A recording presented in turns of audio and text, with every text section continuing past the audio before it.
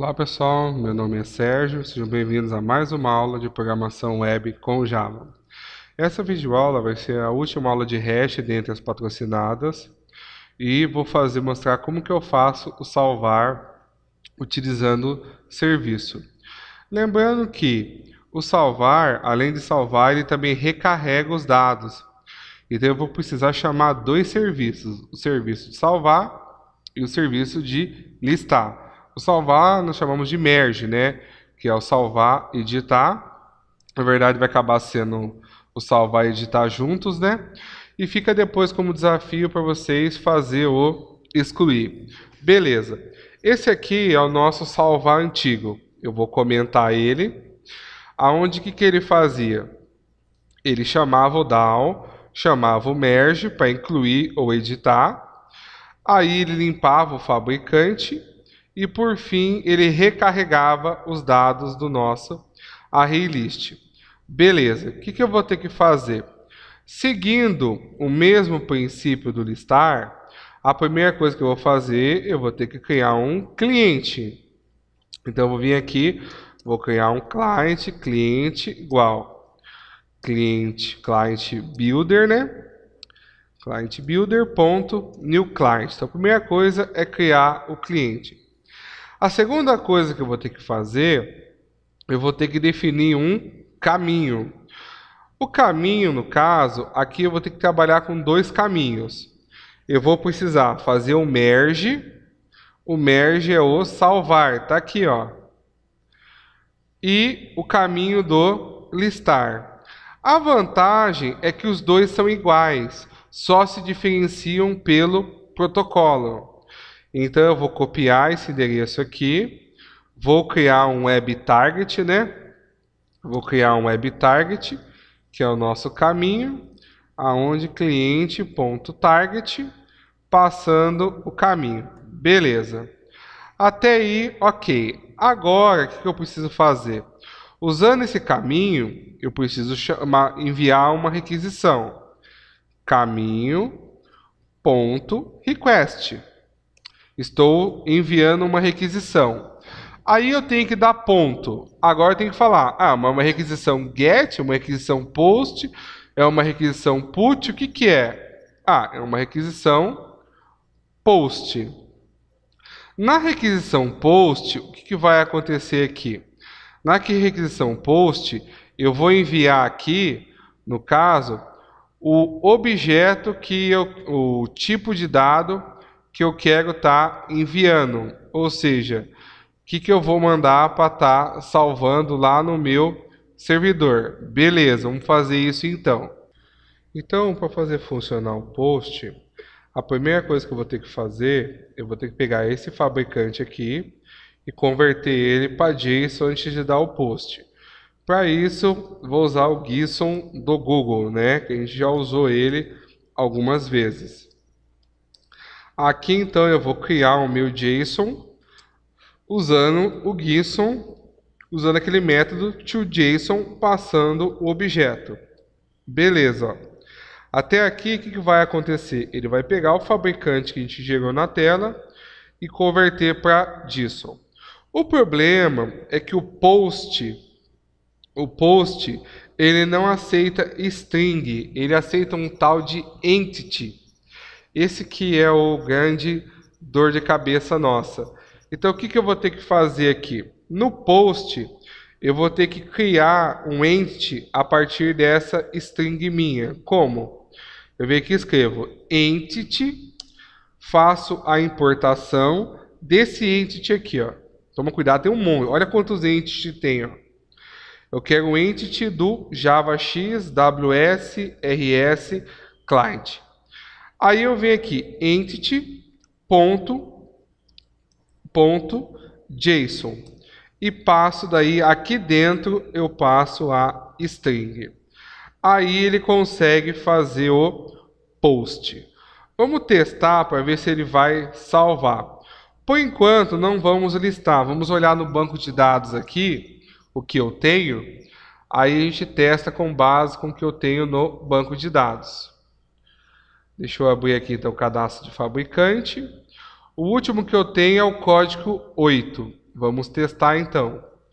Para isso, então, eu vou vir aqui, vou rodar em modo debug para a gente ver passo a passo. Vocês podem rodar em modo normal para testar, mas é mais para a gente entender o que está acontecendo.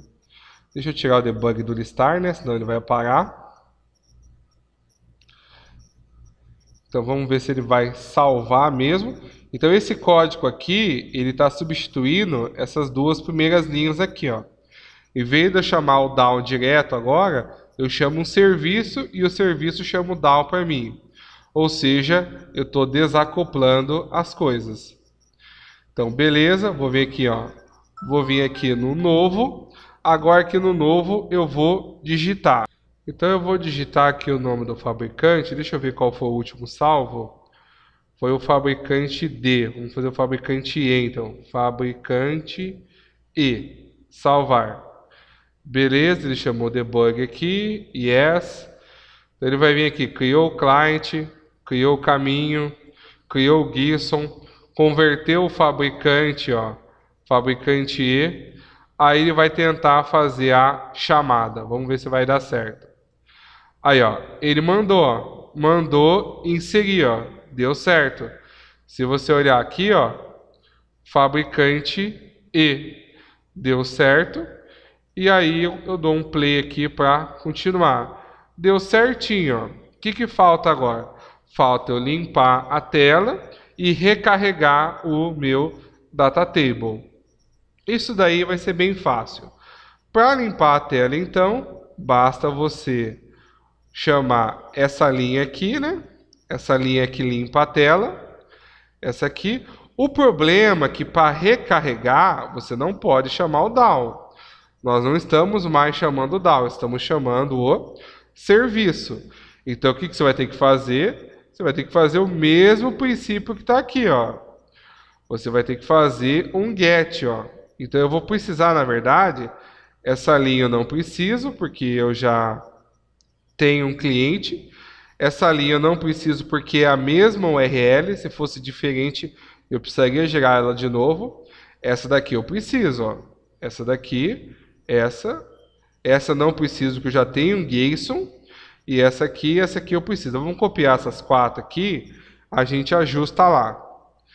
Então, vamos colocar aqui então, vamos só colocar depois.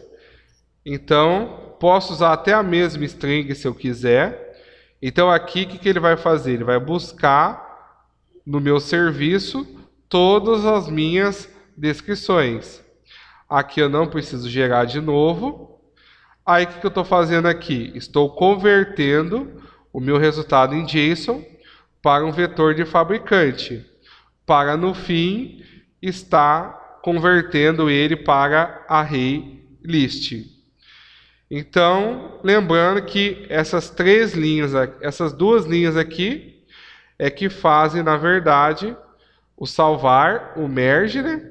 E essas três aqui é que fazem o listar. Essa aqui é para você criar um cliente, essa aqui é para conectar, é para definir a string de conexão com o serviço. E o GISON é aquela biblioteca utilitária do Google, né? Mas é aqui que a gente faz o merge. Então essas duas linhas é que fazem a troca do merge e essas três linhas aqui é que fazem a troca do listar. E aqui é só para limpar o fabricante mesmo.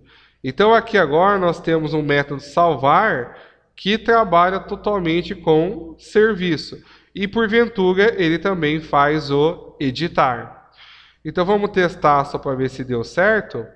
Lembrando que o excluir vai ficar como desafio para vocês, mas o excluir não vai ter erro.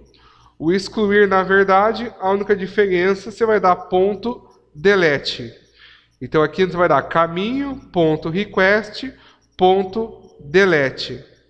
Então vai ser o único segredo que você vai ter que fazer depois aí. Então vamos ver como ficou, né?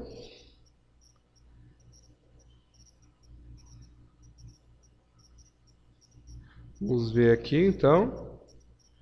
Aí, fabricante E tá aqui, né? Vamos pegar o fabricante, opa, Vamos, novo fabricante F. Salvar. Ah, vou até tirar o debug aqui, né? Tirar o debug, né? Vou dar um play. Aí, ó, fabricante F, ele salvou. Cadê o fabricante F que ele salvou? Ele não recarregou? Deixa eu ver o porquê que ele não recarregou o fabricante F. Ah, porque o mané do Sérgio não dá update nas coisas, né? Então vamos ver lá se é isso mesmo que aconteceu.